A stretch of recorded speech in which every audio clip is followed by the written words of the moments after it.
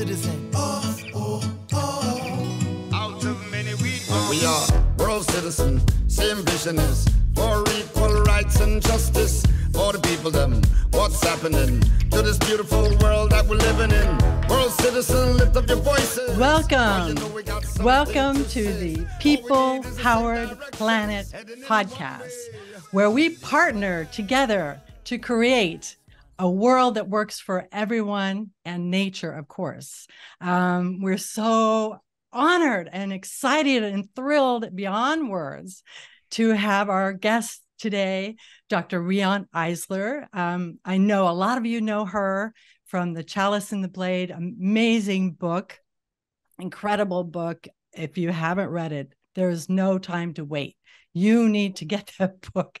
Um, of course, she's written so many other books, and she is a futurist, a historian, and of course, a system scientist studying systems. So um, the other books, Nurturing Our Humanity, Sacred Pleasure, The Real Wealth of Nations, uh, on and on and on. We'll tell you about her um, Center for Partnership Systems. You'll see uh, she's got so much stuff on her website, so many tools, and now a podcast, the Power of Partnership podcast. So uh, she's there for us to learn from, to uh, understand our world. She has done so much research. It's beyond comprehension. So it's just a wonderful thing to do to listen to her. And today we are going to get her perspective on the new movie, Barbie. So I'm going to ask uh, the first question. Riane, I would like to find out how did you feel after the film? Well, I, I have to say that I had mixed feelings. I really enjoyed the movie. I mean, it's very entertaining, you know, the dance numbers and uh, the color, the photography is fantastic, um, you know, etc. The acting is great. Uh, but conceptually, it really uh, lacks, from my perspective and from the research perspective, what we need, which is a new frame. Uh, it, it really starts uh, that way with uh, an homage to 2001. And of course, if you remember that movie, it starts with a humanoid creature who discovers somehow that he can use what he thought was a, you know, just a tool for digging up things or or hunting, that he can use it to kill a fellow human. And that, to, to, to have homage to that, uh, really sets the stage for the worldview. Um, and then it goes on with this very, uh, it's very dramatic with these girls and their dolls. But the truth of the matter is that there's absolutely no evidence uh, you know, it says that from time immemorial, you know, girls have only uh, had dolls. Um, that uh, we, we have burials, for example, uh, a recent find uh, that women did hunting in these older, more partnership oriented gathering, gathering hunting societies, not hunting gathering, as we've been told. So the opening really sets the stage for us to realize that, yeah, this is in the old paradigm where there are only two possibilities patriarchy or matriarchy. In other words, somebody has to dominate and someone has to be dominated. And that's the theme, even though matriarchy is somewhat softer and it becomes uh, gee, they understand that, you know, they did an injustice to Ken, to men, if you will. Um, but it's still old paradigm. So um, I would have done something else with the film, um, leaving the wonderful, wonderful uh, messages about how women have it, have the, the you know that you you you it's all everything is your fault it's, it's interesting that they didn't bring up Eve or Pandora, uh, you know, which are the sort of um, really uh, meta narratives that we have inherited, you know, that somehow everything is woman's fault. Why? Who knows? you know, because it's the out group, right? Yes. So yes, uh, but but it was a very uh, enjoyable movie with some of the messages that I think are good, but Yes. some of the messages which I think, unfortunately, are misleading. Yes, and just about that opening scene. I was very disturbed about it. I'm like, ah, what's happening? ah, and uh, I even watched uh, Space Odyssey, 2001: Space Odyssey, to, a little bit to you know what is the filmmaker trying to say. But like you say, there are so many uh, what I call teachable moments. I find myself in my in the real world going around this this this line pops into my head. I mean when a movie does that to you you know it's affected you. You know that uh, it's uh, there's something there like the the part where she says if my feet were shaped like this i would never wear high heels. You know that just comes in my mind even though i don't wear high heels but I love the fact that the film is a great discussion point and very uh, teachable. There's so much to it, and the Barbies are not perfect. They are um, in the domination system. Uh, the, we can go into the ending later, but it's just uh, uh, there are there are points where it could have done this or that, and I totally agree. It's a great film. I've watched it three times. I recommend it to everyone. I think I think it'll be interesting to get the men's perspective. Thinking, uh, uh, speaking of men, Arthur, let's hear your perspective. Uh, you mentioned this as a teachable moment, and uh, you've written a parenting guide. You've talked about how so crucial to the evolution of of returning us to a partnership society is the way we parent our kids. Uh, how much do you see the Barbie movie? You know, this, this Barbie's, of course, is, reaches kids. How do you see this as fitting into the parenting guide? How can this be a tool for parents to begin to teach kids about the issues that you're that are important to you? Well, I think the relationship between the America character, you know, played by America, um, and her daughter um, is um, a loving one. And um, certainly that uh, shows that there is this bond. Uh, but it isn't only, uh, I mean, the father sort of appears intermittently, uh, and he seems to be a nice guy, but it really doesn't involve both parents, unfortunately. It kind of is, you know, mothers do mothering, and that's the, the big event. And certainly it is the big event in many ways.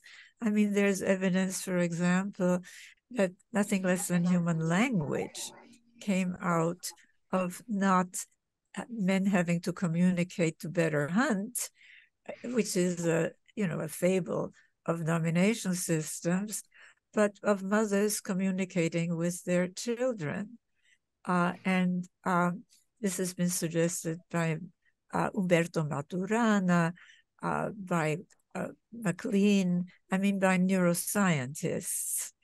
Uh, but somehow it hasn't entered the mainstream, you know?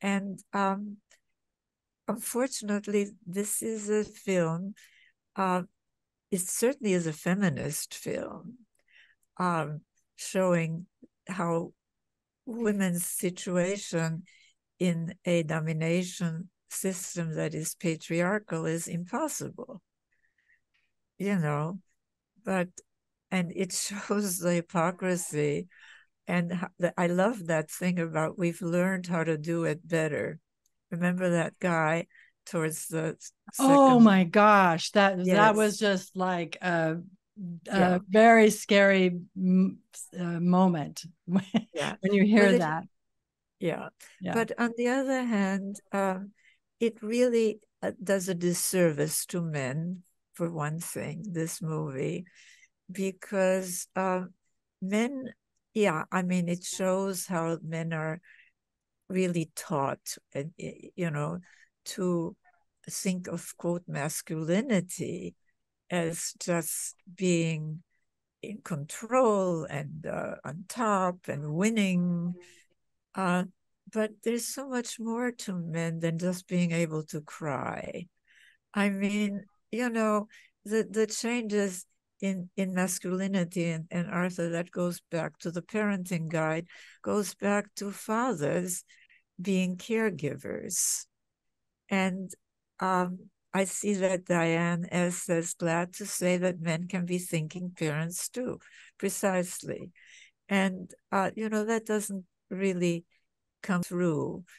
Mm. But, um, and yes, Amy writes, so much of raising men is about preparing them to follow orders and kill as soldiers. And I should add, to be killed.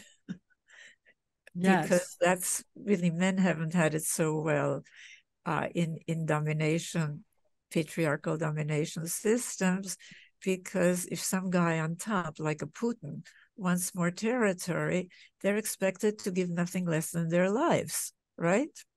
Yes, as so, you say, it doesn't work. You know, it doesn't work for either gender or any gender. Doesn't. I. It's funny when I watched it different times.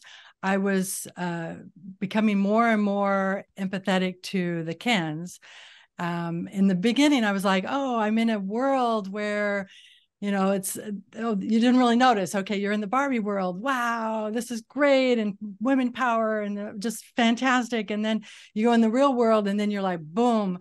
Uh, yeah, yeah. Oh, that's awful. And then I watched it, like I said, uh, third time, and I'm just, uh, feel sorry for the Kens. I feel sorry for the women. I feel sorry for uh, the limitations that people have, and uh, so so so. But I still enjoyed it every single time. So it's a great movie. Um, let's see. There's like I was saying, the teachable moments.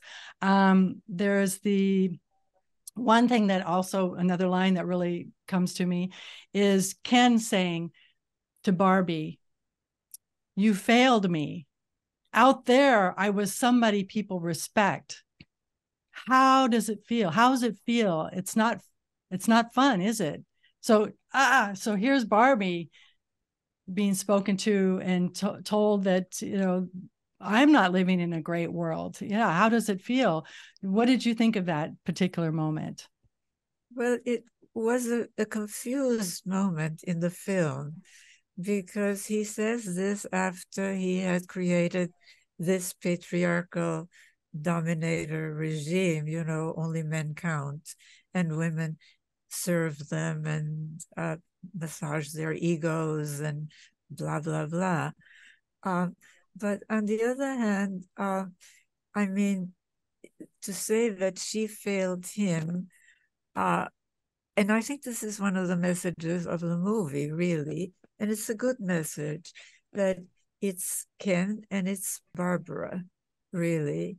I would have changed it to at that point, but uh, instead of Barbie, because that's sort of a diminishing term, you know, it makes you sound, well, like a doll.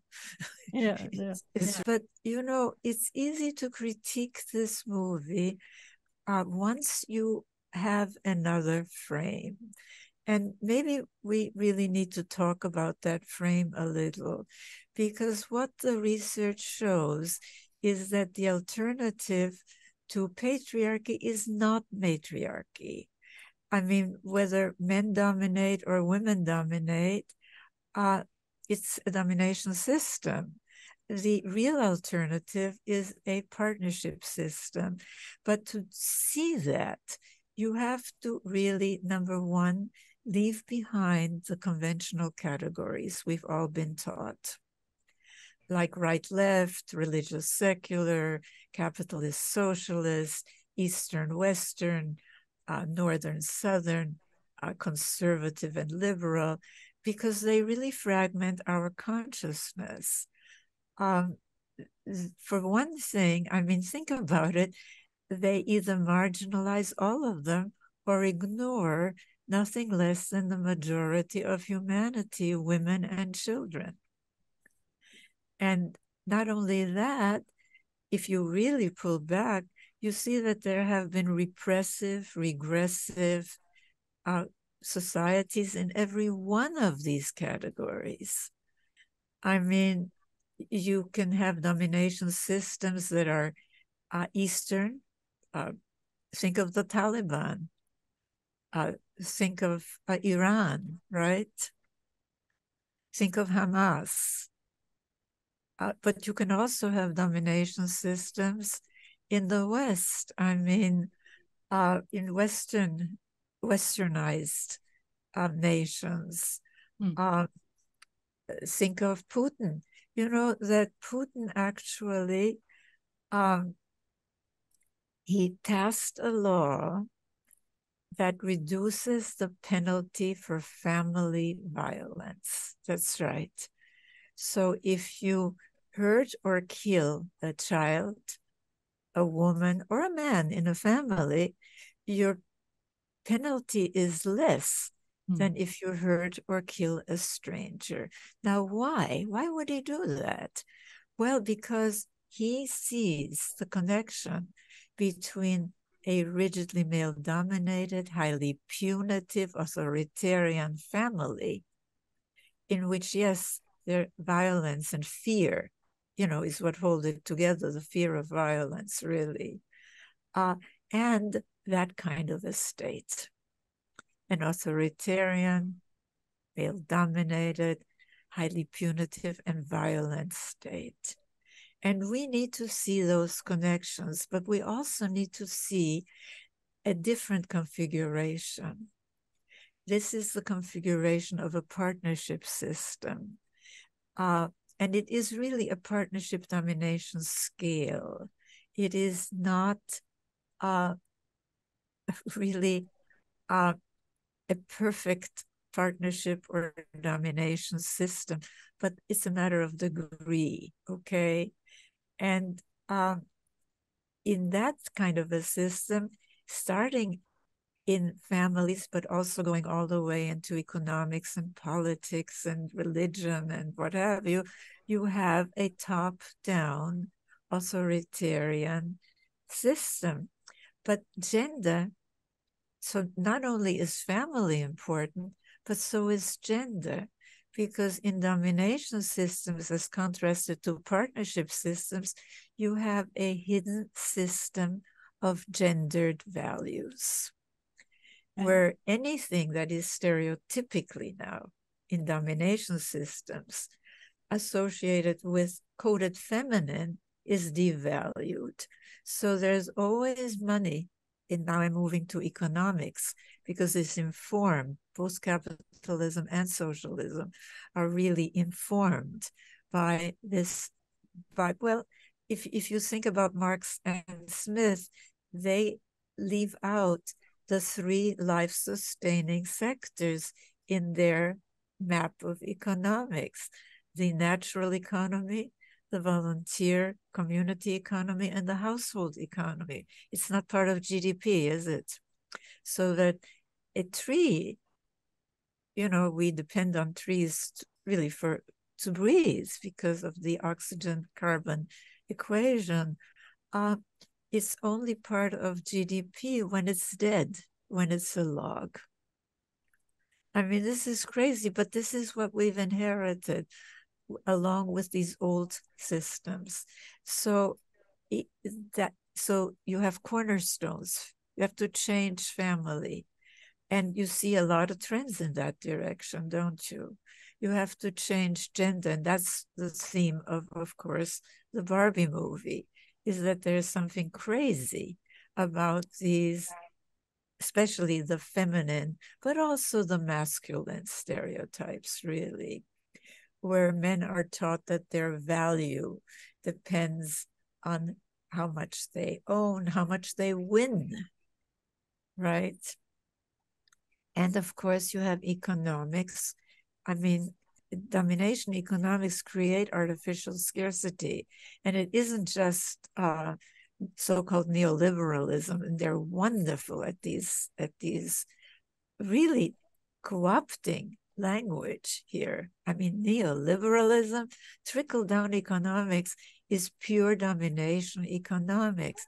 Whether it's a Chinese emperor of old, whether it's an Arab sheikh, whether it's a an Indian pasha, or whether it's a feudal lord, those on the bottom are supposed to content themselves with the scraps falling from the op- from the opulent tables of those on tops. Mm. So winner takes all makes most of us losers, as Amy writes in her comment here.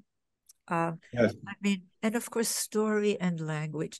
Unfortunately, Barbie perpetuates the old story to a large extent, not completely by any means. And this is what's so great about this movie, is that it's a spoof, really, of the gender stereotypes um, of both women and men. And in that sense, it's it's really not only a fun movie and an entertaining movie, but a movie with some good messages. But unfortunately, as I said, it has this bad message that somebody has to be on top and somebody has to be on bottom. When in fact, the alternative, and I'll repeat this, to both to patriarchy is not matriarchy. The alternative to both is partnership.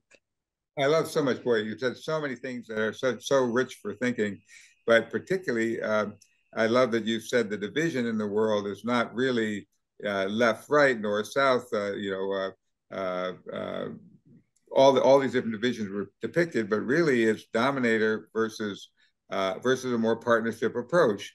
And I think that particularly uh, it comes particularly to mind when you mentioned uh, Putin. I mean, here is this incredibly horrible dominator aggression invasion, but also uh, on the other side, you have that completely countered by uh, absolute war domination, killing. Same in same in Israel. Uh, uh, you know, uh, uh, one side is oppressing and dominating, so the other side uses more military to smash and kill, and that creates even more anger, and it goes back and forth, it escalates.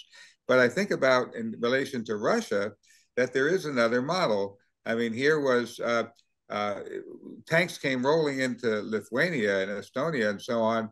Uh, when the Soviet mighty Soviet Union had, was with the KGB was so super powerful and unbeatable, and the people joined together in partnership and created a singing revolution. They they they joined hands from across all three of those nations when they when the tanks came rolling in people stood up to them, uh, women and men together, and, and the whole society mobilized against the tanks. And you know they would rush toward the tanks and, and block them. And yes, uh, uh, ten or fourteen people got killed, rolled over with tanks.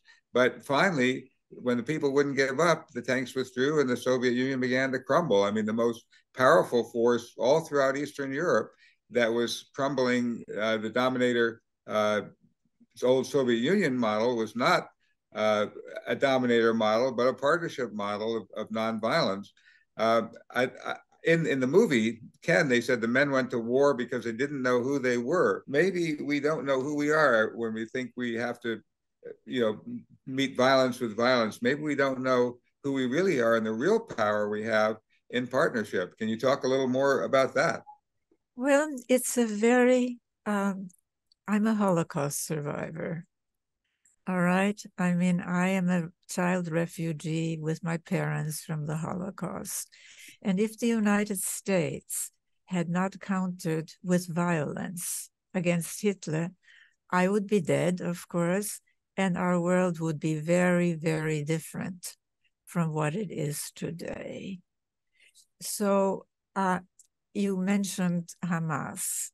Unfortunately, the men in Hamas and the women who sympathize and support them uh, have been indoctrinated with this in group versus out group thinking, with the traumas probably starting in their families, uh, going on with the economics, etc., etc., to deflect all of their rage and dehumanize the other. So, what happened is that the people in Palestine have been betrayed by their leaders. They were betrayed first because their leaders rejected the partition, which what became Israel, the Jews, uh, accepted. They rejected five different offers, five different offers of peace, because for them, peace is not the point. They are so in the domination model that winning and killing is the point. So I think we really have to understand that. Um, I, I feel terrible about what's happening in Palestine. I feel terrible about, you know, there was a woman who, um, an Israeli woman, who was part of this festival, which ironically was a festival of peace and love. Remember? And um, she hid in a bramble bush. She jumped into it and she survived. She saw one woman killed, a young woman from the festival, and another one taken as a hostage. And she wrote afterwards that it was very clear to her uh, that they did not, the Hamas men did not see Jews as human beings. The dehumanization of the other. So naturally, uh, and that was the whole thing with the wall. The wall, I mean, I, I have to give this history because yes, Israel became more of a domination system. There's no question about it. This is what happens to garrison states surrounded by enemies who want to kill you. You become more of a dominator, just as we counted Hitler uh, when it became, or Japan, when it became clear that it would be, you know, a death to, well, certainly all Jews, but really that it would become a totally untenable situation. And uh, when people see weakness in offers of peace, why did it succeed? What you said, Arthur, because you had Gorbachev. And Gorbachev was not going to really, it, it, Gorbachev was not a Hitler, he was not a Hamas. And I agree that force only begets more force, violence begets only more violence.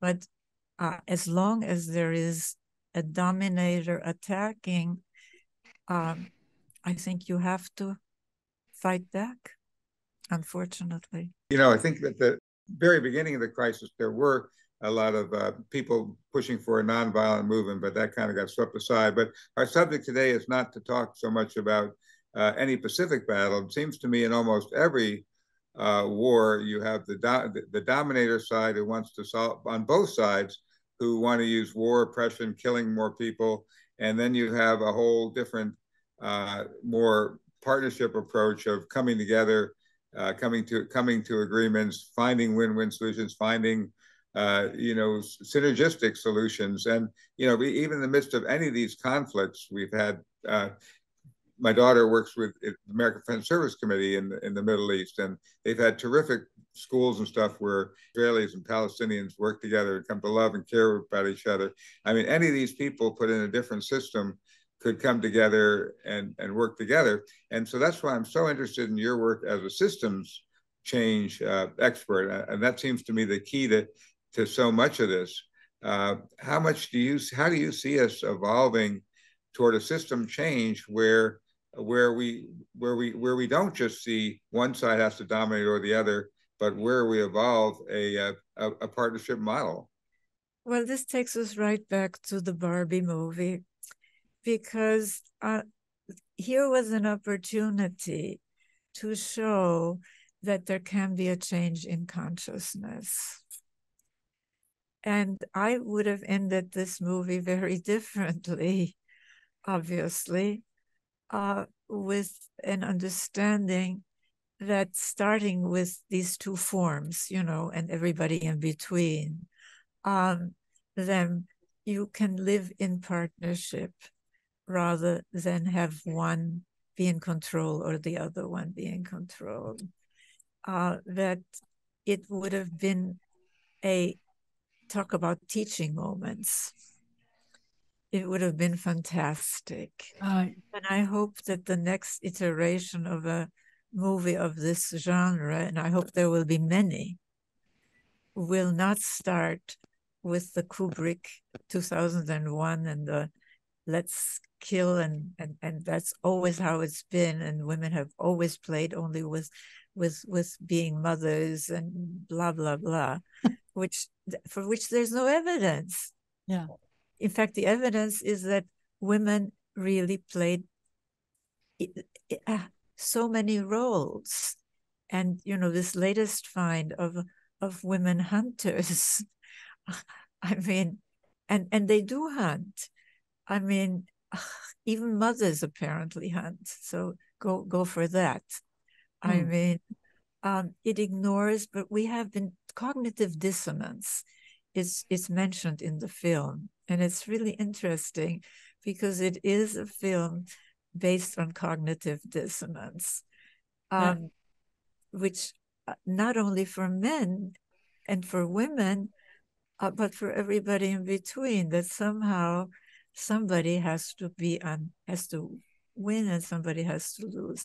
So I think you asked, how does it start? It starts with a change in consciousness that there is a partnership alternative, and that for millennia, we humans build societies that, while not perfect by any means, are oriented more to the partnership side.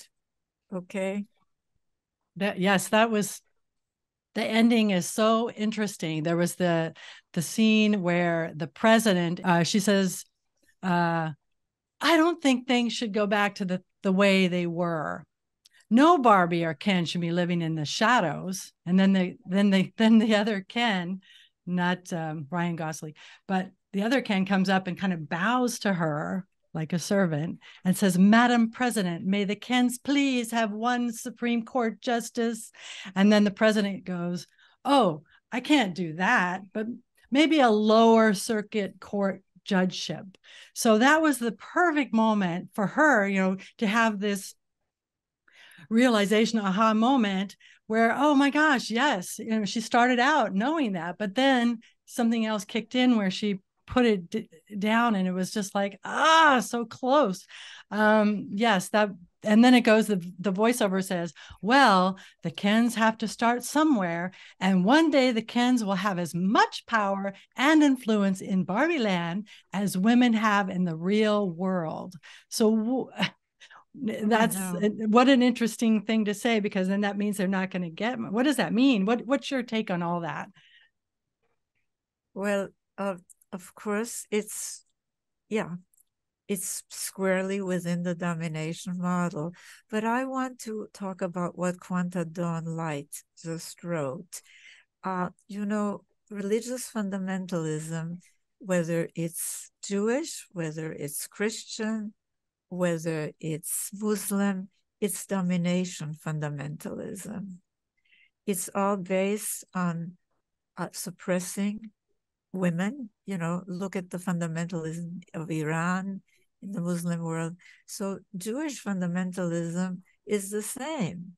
So I absolutely uh, don't think that uh, you know you can equate being Jewish, which I am, um, with what this uh, right wing spiritual leader of a group of fundamentalist Jews has to say, which is, you know, I mean, children in Gaza are taught uh, that Jews are dogs and pigs, and how you can be this cruel to dogs and pigs is beyond me. But, you know, uh, it's it's the reverse side of the coin you you cannot equate um, all jews with fundamentalist jews who are as brainwashed as uh, other fundamentalists are starting with this matriarchy patriarchy thing with this you know it has to be patriarchal right? And um look, I don't have perfect answers, but what I do have is uh, that is yes, I believe that violence begets more violence and it's tragic. But unless both sides uh, give up the notion that they have to win, it's not going to change. It's just not going to change. If you don't think there is an alternative, that the partnership alternative doesn't exist, okay? And if you don't understand that to change the system, you have to address family, the punitive family, which, as I, uh, you know, uh, nurturing our humanity is very much based on the latest neuroscience. And it shows that children in highly punitive dominator families who are taught to deflect their anger and rage at being hurt, being uh, punished, really, uh, tend to think that it's their fault, okay? But then they deflect that to the out group. And you see that, unfortunately, so much in the people in the United States who follow uh, these people who just want to, who are angry, angry, hate, hateful, mm. full of hate.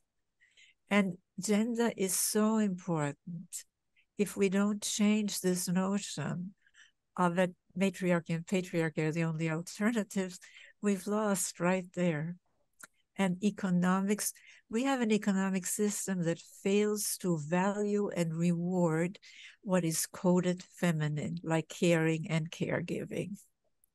Think about that. Now, there are trends in that direction, and that is so important.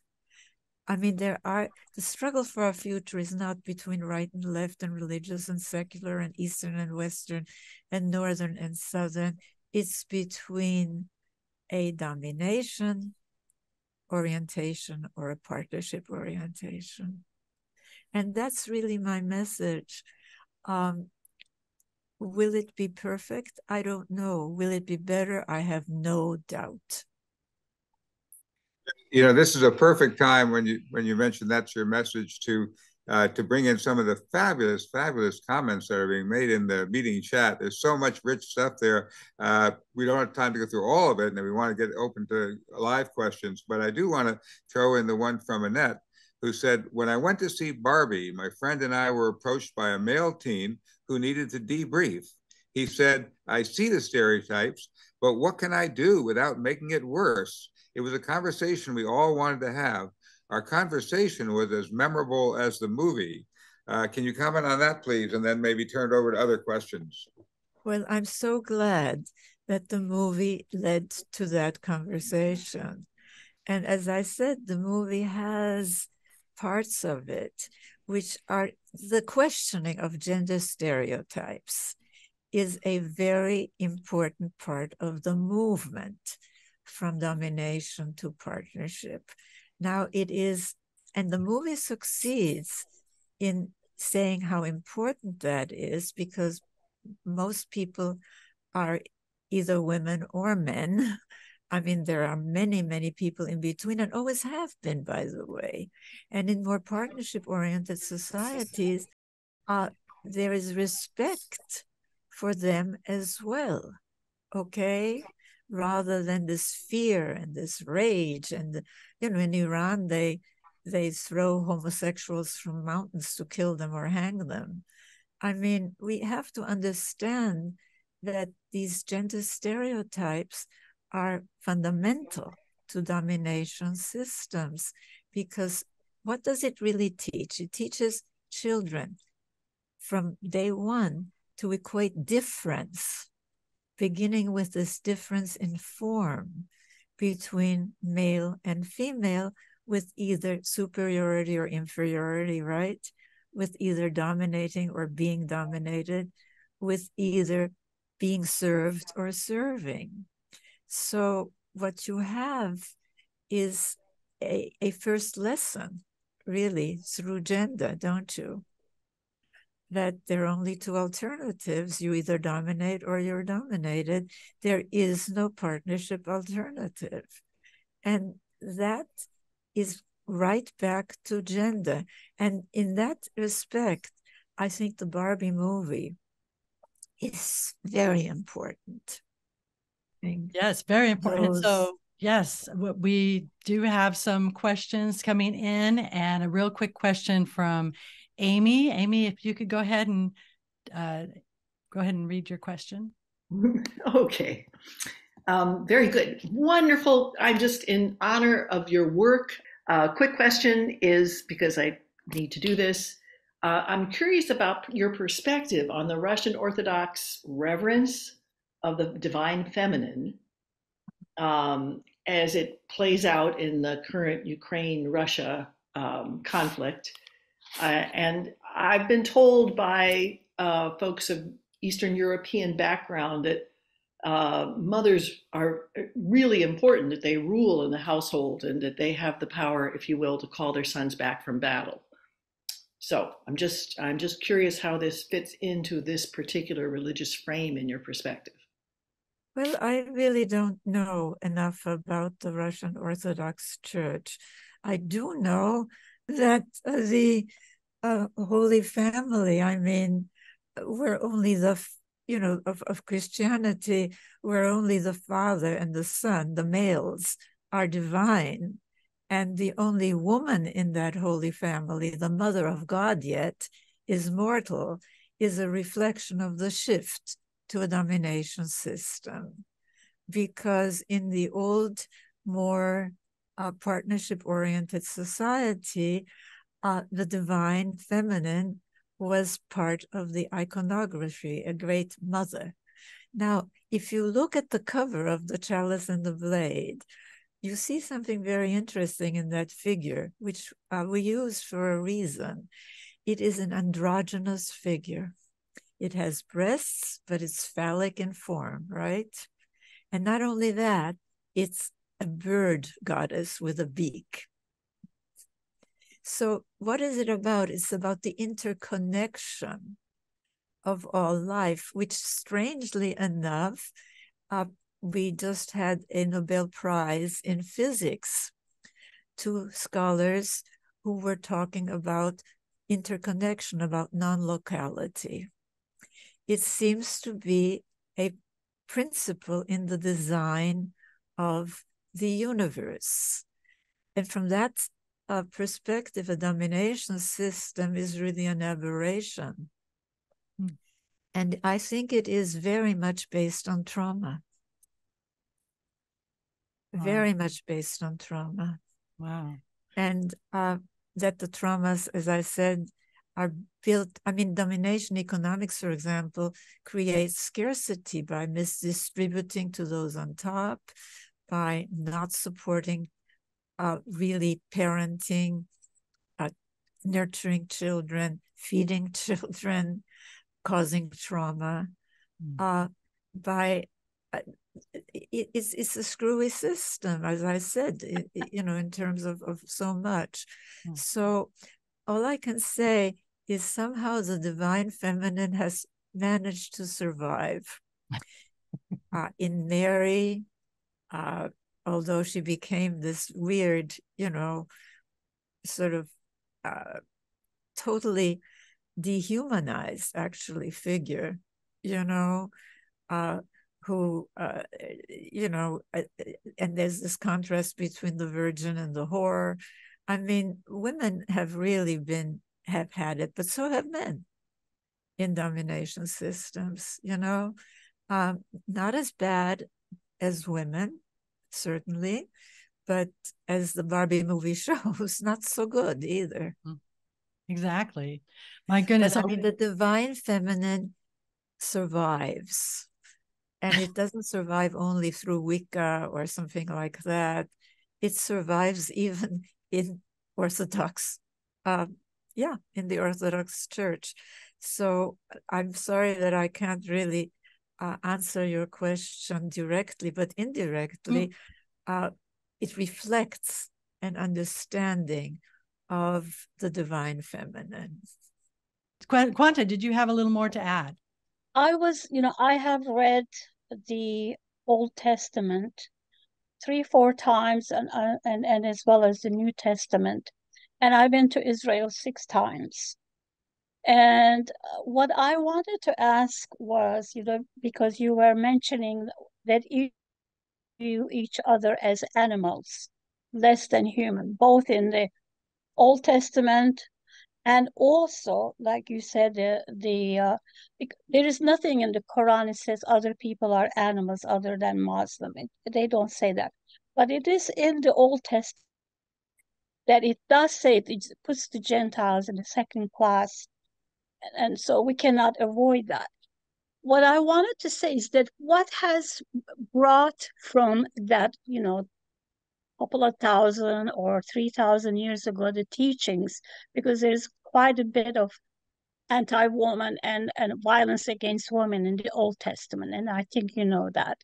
So what has helped the Jewish community to progress to a degree that the these teachings that are still there from thousands of years ago are not really uh, applied in the Jewish community against one another, which is wonderful. But then this war is showing that people do pull those teachings out of the shelves. And I don't think it is just the fundamentalist Jews or fundamentalist Muslims or Christians. But when it becomes necessary and, and uh, usable, leaders do take those. So, what can we do that these teachings are irrelevant for today's society, for today's humanity. I'm a Baha'i and I believe in the oneness of humanity and I and Baha'i teachings put women ahead of man actually, that they are mm-hmm. more courageous. Mm-hmm. So um I want to ask you what has helped the Jewish community to progress to such a degree despite the teachings that are contrary to how they're developed now. Thank you. Well, thank you, uh, Quanta Dawn. Um, I want to make two corrections. One in the Quran, uh, it says you kill the infidel, kill the infidel. Um, and, and that is why sometimes people are simply lynched, like in Pakistan, uh, because they question anything about Muhammad or the Quran they're infidels. So it isn't only the Old Testament. Um, it is uh, has infected. I have proposed um, that we really bring together scholars, enlightened scholars from all the world's religions to sort the domination and the partnership elements in our scriptures, whether they're Hindu, where all of these guys are killing each other, you know, and they win and good wins and evil is, I mean, you know, it's, it's, it's the whole thing is a dominator saga, really. Um, but at the core, at the core, and this is what takes me to, uh, to your question. At the core of all the world's teachings is uh, this core of partnership teachings, like do unto others. You know, Isaiah was the first to say that. The, the, the Old Testament is such a terribly mixed bag. And that's why I'd like to bring together uh, these scholars to sort them, because what happened is that in the course of the shift from a partnership to a domination society, yes, much of it was through violence, but it also was, as the chalice and the blade. I have two chapters called Reality Stood on Its Head in that book. Uh, it was through remything, changing the story. So while giving birth is part of the old sacred iconography. A woman giving birth. When I was a, girl, you couldn't be a school teacher if you were pregnant because God forbid children should see a pregnant belly, right? I mean, uh, you you know, I mean, it's okay for children to watch violence, but it's not okay for them to watch real sexual pleasure, mutuality, erotica, And there's a difference between erotica and pornography, as I show in my book, uh, Sacred Pleasure, which talks about the erotization of domination and violence. That's right. We have inherited that along with, uh, you know, blaming woman and sex and everything else, you know, for all of our sins. So Baha'i is really an attempt, as uh, is the fact that Jews, for the most part, uh, have been leaders in the civil rights movement, in all of the movements for social justice. Um, I mean, you're quite right.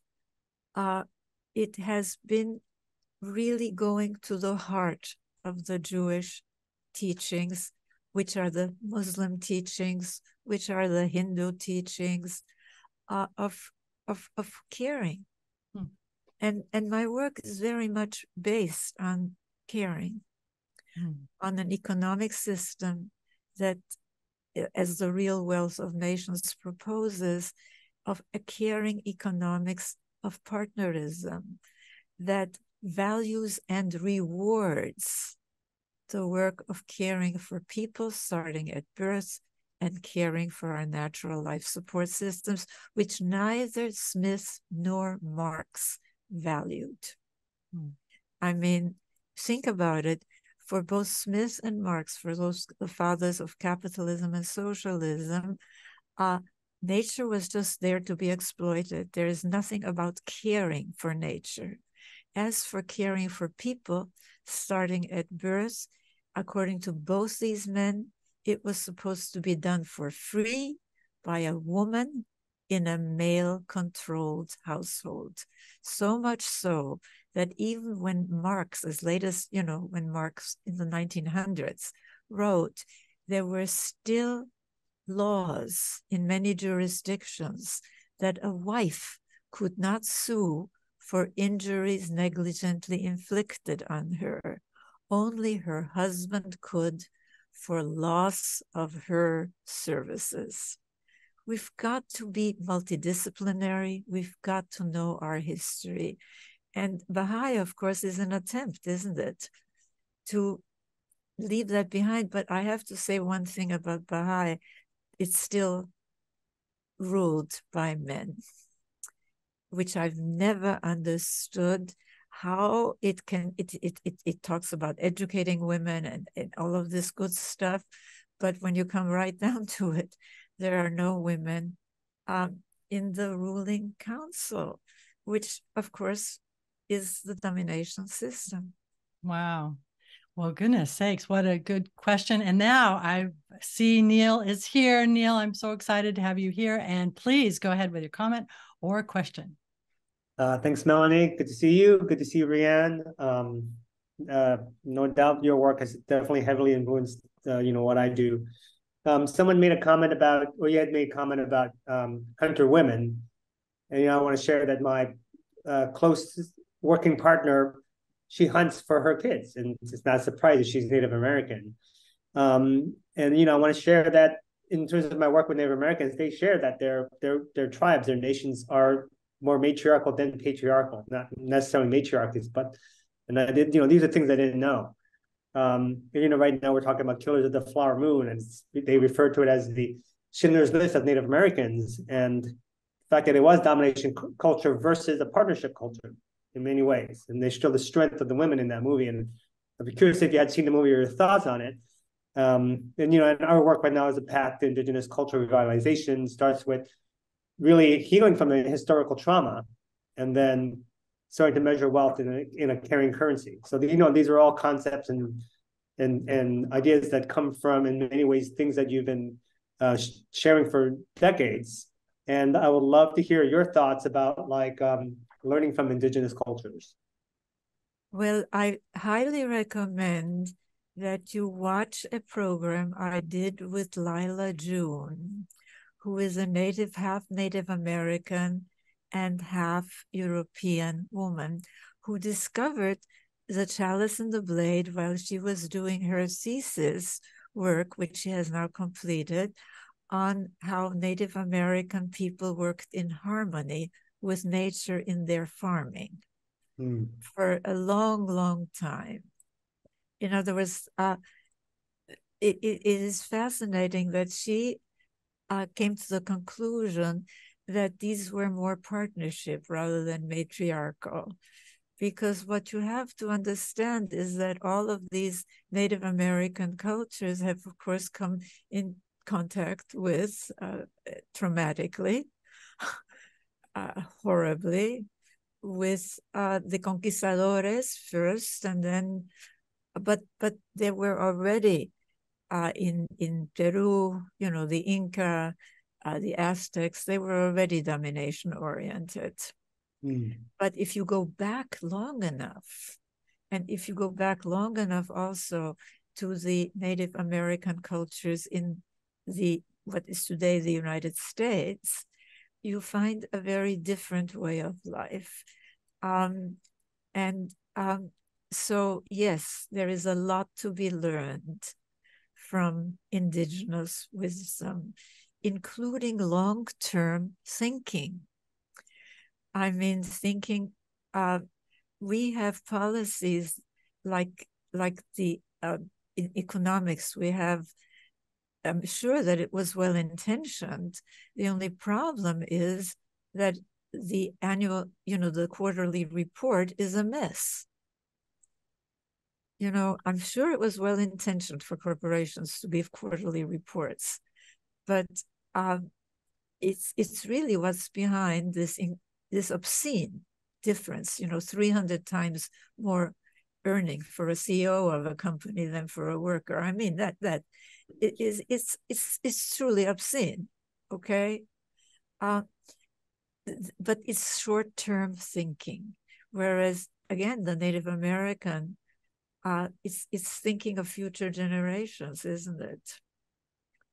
So Neil, and I thank you, and I thank you for all that you're doing.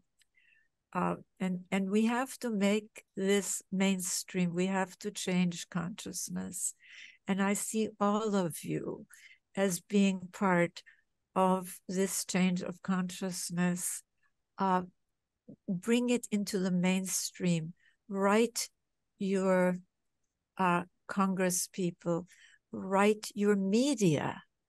I mean, look at this movie, Barbie, and it's such a well intentioned movie and it's such a funny movie and such great entertainment and it still is within the old domination paradigm and and support if you can the center for partnership systems we need money so do we we need money for the film that's being made on this which is so important um, so i'm counting on all of you and I think we're at the hour. Yes, and that was so well said. My goodness. And I just want to take a tiny second to just thank you so much. Thank you so much. Thank you so much. We're just uh, enjoyed this. So, uh, your incredible knowledge. I just I could listen to you forever, but but uh, I can find you also on YouTube at your Center for Partnership dot org. We can find you uh, at the podcast the Power of Partnership podcast. So um, I'm looking forward to I, more. I, I just want to say about the Power of Partnership podcast. It really is interviews of people who are doing what we all need to do to use this work. And it, it includes a congressman um, from, uh, not, uh, and actually he's a New York assemblyman, Ron Kim, for example, in New York. Um, it includes uh, uh, people who, uh, Lyla, jo- Lyla June is one of the podcasts, for example, Native American people who are using this paradigm. Um, so I highly, highly recommend that you not only watch these programs because you can learn from them, but uh, that conversation was about what do we do? And it really depends so much on what we all do. Exactly. This I, I know. Uh, and it we are now in a period where our future depends really on shifting more to the partnership side with uh, biological weapons, uh, with nuclear weapons, with climate change. Uh, the old domination system, you know, what, what is the environmental movement? It challenges the tradition of domination, our once hallowed conquest and domination of nature, right? So does the feminist movement. So does the civil rights movement. You know, that one race somehow is superior and, and another race is inferior and to be dominated. Uh, we we have to really know our history. And yes, I suggest that you start also uh, book groups, reading these books with your friends, with your colleagues, because frankly, that's the only way is to really immerse yourself and form support groups for partnership. Thank you so much, Riane, for all these action steps we can take. That it doesn't have to be this way. That's your research question. Does it have to be this way? Um, no. So we we go back to Arthur again. Million thank yous. We love you, and we'll send it back to Arthur. Arthur, take it away. Thank you so much. You are just an incredible font of wisdom, and I'm so glad you invited people to also uh, uh, join in supporting uh, the forthcoming films about you, both The Chalice and the Blade and Humankind. Uh, and of course, I'm so glad you mentioned that as one of your four pillars is is is uh, stories, movies, and that Barbie is kind of part of that pillar in that it can be a way that we a discussion starter for getting us to lead into partnership and a and a parent guide to, to jump off from that to get kids thinking about these issues. Um, and so, in any case, uh, I, I, do want to say that you also mentioned uh, uh, both the environmental disaster we're heading toward, but also uh, nuclear. And the next week is going to be Action Day. And what we're focusing on, we are actually in the middle of a major action. Here on the People Powered Planet, we primarily focus on solutions and solution areas like Garry Davis, but it's also crucial that you have both an awareness of the problem and a vision of the of the solution. And right now we have a, a super major problem in that uh, the world is really heading in many ways toward nuclear disaster, which would be the annihilation of our species. So we are helping to support a film uh, called a television event, and it's about the amazing television event of the day after, which was a film on November 20th, 1983. This was the 40th anniversary of a movie that shook up a nation, rattled the president, and led to the biggest decline in nuclear weapons in history, a 75% reduction because Ronald Reagan, before that movie, was the major uh, rattler. We got to fight this evil empire. Uh, he saw that movie. He says in his memoirs, it, uh, it, it, it, it disturbed him deeply. He had nightmares, and he went from war fighting to saying a nuclear war can never be won and must never be fought. He told that to Congress. And this movie, he says, played a key role in his going into the to, to talking with the Russians instead of fighting with them. So uh, it's a crucial movie television event because it's a great way to remind people of both the horror and danger of nuclear war and how terminal, how hopeless it, it would be. I mean, there's just no way you can even gather together the medical care and everything you need to to to to, fight it because this, everything gets so so destroyed. Uh, and the radiation just continues to poison us. So we are promoting this movie television event today. We are putting out a press release about it. Um, I don't know if we should put the uh, put some. Well, go, we'll just go. Melanie can put in the chat. Go to the world is my country.com. Probably the slash www is the best place. We'll put a copy of the press release and everything there probably, and you can see that press release. You can help promote it with your uh, to your friends and others. Uh, it's probably the best film to warn us about, to rewarn us about where we are and help us step back from the brink. Uh, so I invite you to join us next week in talking about how you can take action to further promote that.